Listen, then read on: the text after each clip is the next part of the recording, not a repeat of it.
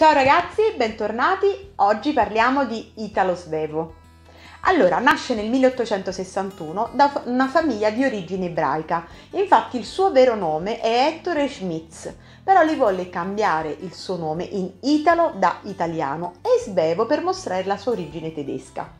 Nel 1870 intraprende i suoi primi studi in Germania, però in realtà ehm, diciamo, la sua passione resta sempre quella del, di scrivere in italiano, è molto legato all'italiano.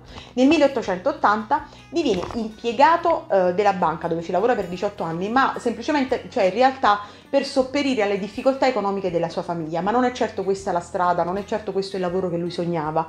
E quindi eh, nel frattempo, amando molto la lettura, amando molto leggere, si avvicina ai classici tedeschi, italiani e francesi e tra i suoi autori più importanti c'è Schopenhauer. Soffermiamoci sempre sul fatto che quando uno ha delle passioni, quando un pers- una persona ha una passione non smette mai di alimentarla perché è importante, perché a volte la vita ci vuole far credere che noi siamo semplicemente il nostro lavoro o la definizione degli altri, ma non è così. Noi siamo le nostre passioni, siamo quella scintilla che ci tiene vivi. Quindi anche Italo Svevo dice io lavoro in banca, ho apparato i miei problemi economici, però la mia passione ce l'ho sempre la porta avanti e bene fa. Nel 1892 fu, pubblic- fu, pubblicata a sue spese una sua prima opera, Una vita. Nel 1898 pubblica Senilità. Allora, quest'opera non ebbe un grande successo e per lui questa fu una grande sconfitta. Infatti decide di, sta- di non scrivere più per circa 25 anni. Ma la scintilla della passione lo tiene sempre vivo, cosa decide di fare? Nel 1900 diciamo che abbandona per un po' eh, la scrittura ma perché è deluso e si avvicina eh, alla musica e decide di imparare a suonare il violino e a imparare a, a, l'inglese.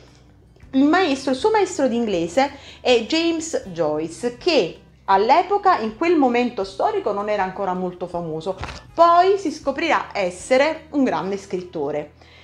Questa conoscenza è stata importante nella vita di Italo Svevo, ecco quello che auguro a tutti noi è che ci sia, eh, diciamo, la conoscenza ehm, perfetta che poi ci permette di aprire altre porte, perché quello cambia la vita, no? Loro si sono incontrati, al momento, diciamo, Joyce eh, era l'insegnante di inglese e Italo Svevo ehm, gli aveva mostrato alcuni dei suoi romanzi. Lui li aveva trovati interessanti. Poi nel 1923, ehm, allora nel 1999 entra a lavorare nella ditta di vernici del suocero, ma poi ricomincia a scrivere. Nel 1923 Italo Svevo scrive La coscienza di Zeno ed è quest'opera insieme a, insomma anche alle altre che gli aveva fatto leggere che nel 1925 permettono a Joyce e ad altri eh, scrittori scrittori francesi di rendere famoso e popolare Italo Svevo perché trovarono op- la sua opera molto interessante e eh, la resero popolare prima diciamo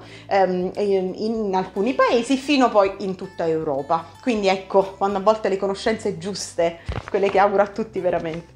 Nel 1928 muore in un incidente automobilistico e quindi ehm, diciamo la sua storia ci parla di un uomo che non si è mai arreso, ha fatto sì che le sue passioni potessero essere da guida, però è stato per alcuni aspetti fortunato, però per altri una vita stroncata e questa è una cosa brutta.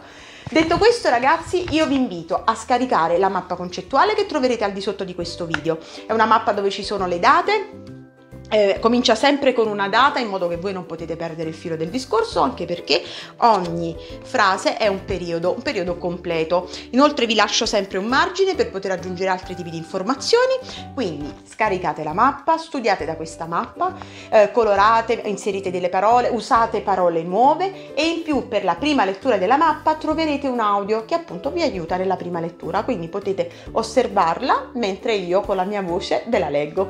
Detto questo, vi invito a seguirmi sui social, di contattarmi in privato se ci sono uh, argomenti dove vi um, può essere utile um, diciamo il, il, mio aiuto. Io ci sono per questo e sono felice di farlo. Ragazzi, studiate, non dimenticate mai che voi non siete i voti che avete, ma valete molto di più di sé. Buono studio e la cultura ci salva. Ciao!